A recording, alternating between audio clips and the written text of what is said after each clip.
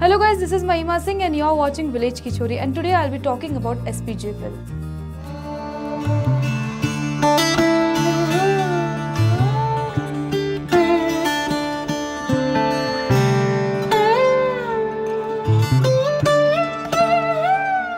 Minister Amit Shah on 25th November introduced the SPG Amendment Bill 2019 in the lower house of the parliament.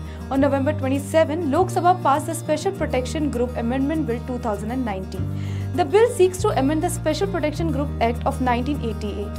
The SPG Bill 2019 proposes to provide security to the Prime Minister and the members of his immediate family who are residing with him at the official residence. The other key change is that the former Prime Minister will be guarded by the SPG commandos only for a period of 5 years after demitting the office.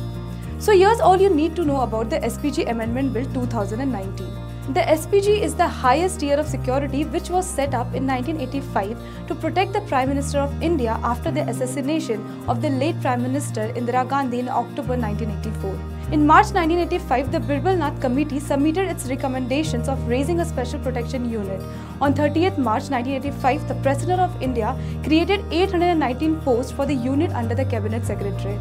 The SPU was then renamed as the Special Protection Group that is SPG. The SPG functioned as a security group purely on the strength of the executive orders for three years without legislation from April 1985 to June 1988.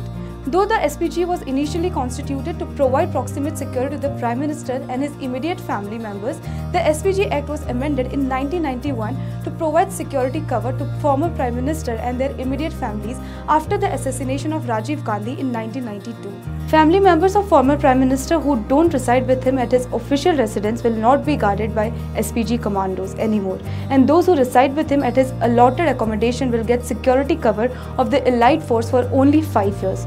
Prime Minister of India Narendra Modi is under the SPG protection. Sonia Gandhi and her children Rahul Gandhi and Priyanka Gandhi were also given the SPG protection because two of their family members, Indira Gandhi and Rajiv Gandhi, both former Prime Ministers of India, were assassinated. On 8 November 2019, the Government of India decided to withdraw the SPG cover. The Gandhis and the former Prime Minister are now protected under the Z plus security cover of Central Reserve Police Force that is CRPF.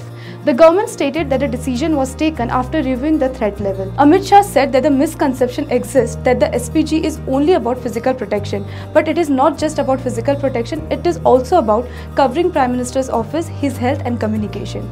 Various amendments were brought in SPG Act in 1991, 1994, 1999 and 2003 which diluted its purpose. If you like the video, do share and for more such videos, keep watching My Nation.